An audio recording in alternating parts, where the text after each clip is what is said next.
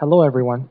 Um, in this video, we will look at a very key concept in economics.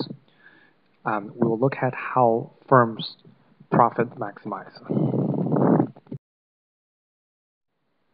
Profit maximization is a crucial topic in economics. And this is really because um, money will make people better off. Money will make individuals as well as companies better off. So as the decision maker of a company, if you're the CEO of a firm, well, you better know what what you can do to increase your revenue, to increase your profit, so that your shareholders are happy, and so that you keep your job.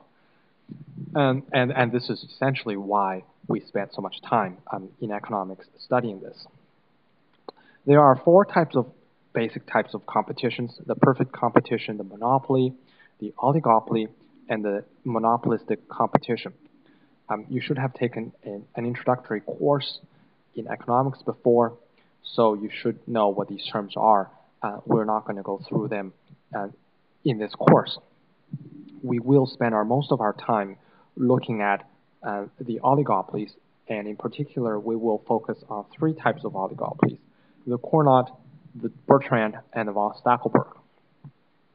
And the Cournot competition is where you have firms competing by setting the output level. So as a company, you will decide how many units to produce and how many units to sell to increase, to maximize your revenue, to maximize your profit. For the Bertrand competition, firms compete by setting prices. So you will decide how much you will charge your product or your service so that your profit is maximized. And for the von Stackelberg case, and you're competing, companies are competing by quantity, but you have one company going first and you have other companies following that first company. And this happens a lot with technology firms. For example, you might have, you know, one company, one company develops a new game, for instance, new phone or something. And then this company will get to sell first. And then other companies will follow. Other, other companies will enter the market following the first company. So in this case, we will see, we'll show in later analysis that if one company gets to go first, this company will make, will be able to make a lot more revenue, will be able to make a lot more money than the follower firms. And this is a very important concept to remember. Um, it is recommended that you have a course in calculus and then you know how to differentiate functions, you know how to maximize functions. And if you don't, I'll have a calculus review section um, where you can sort of quickly learn the subject and to be able to follow the lecture. We'll start with the, um, the calculus review. And of course, if you know how to differentiate functions and if you know how to maximize functions, um, you're welcome to skip this section. Um, then we will, in every section, in every following section, we will look at one form of competition. So we'll start with perfect competition, then monopoly, then the Cournot, the von Stackelberg, the Bertrand, the cartel case of the du- of the Cournot duopoly, and finally the monopolistic competition. And if you're just looking to solve a specific problem, um, you're welcome to jump into one specific section that will help you. And, but sometimes the example will follow so if you start from one section, uh, then you might have to spend a little more time trying to figure out, you know, what has happened before. Try to follow up with the uh, example. So our first topic is differentiation. And differentiation is the process of finding the instantaneous change, rate of change of a function. So let's say we have a function, and the function models say, the distance from your current position to your house. And if, if we think of the instantaneous rate of change, the instantaneous rate of change of your position, what does that really mean?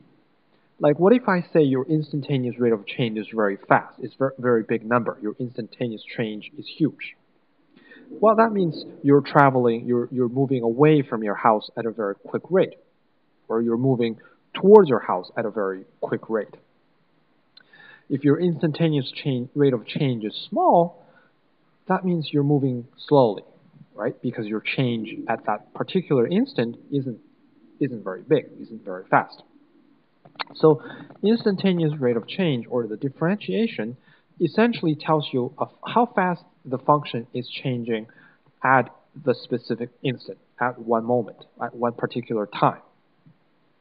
So we'll start with the most simple, the simplest polynomial function, um, f of x equals to ax to the power of b.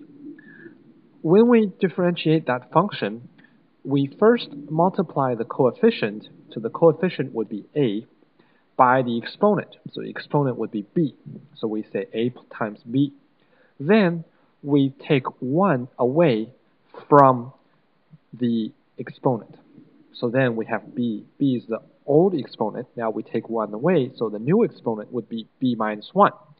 So then the derivative of that function would be a, ab x to the power of b minus 1.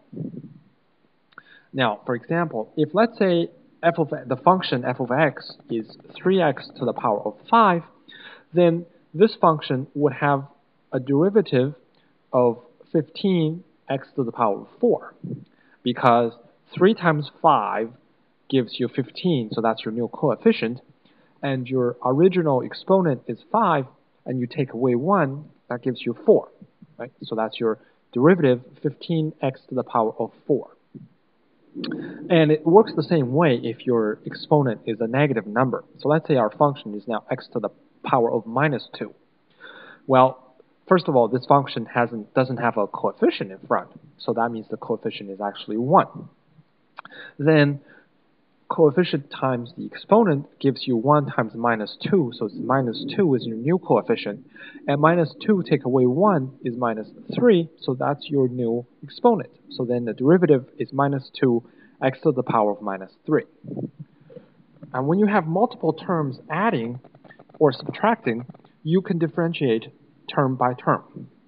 So in the last example, uh, 30x plus x 2x to the power of minus 9 plus 1 well, you began by differentiating the first term, so 30x becomes 30, and then you do it for to the next term, 2, 2x to the power of minus 9 becomes minus 18x to the power of minus 10. And finally, the last term, 1, all constants have derivative 0. So the derivative of 1 is 0. Then you add everything back together, and that's your derivative for the whole function.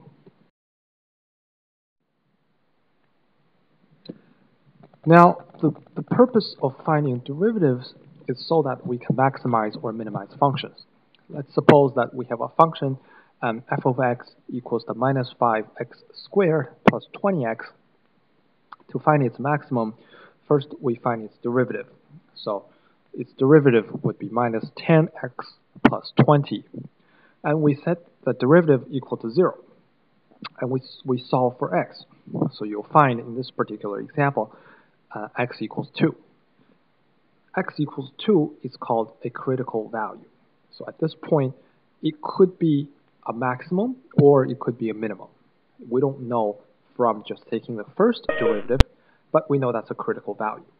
Then to see whether it's a maximum or a minimum, we take its second derivative. So we take a derivative, we take the derivative of the derivative, which we get uh, minus 10.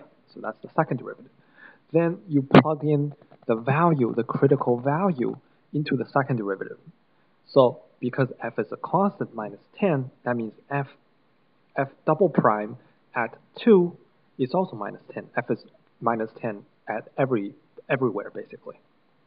So because the second derivative is minus, because the second derivative at the critical value is minus, that means the function has reached a maximum there. And again, if the second derivative at that particular point at your critical value is positive, that means the function has reached a, a, a minimum at this point. And if the second derivative at your critical value is zero, um, then it is inconclusive at that point. So you don't really know, you can't tell um, if it's a maximum or a minimum. In fact, it's neither. It's called an inflection point.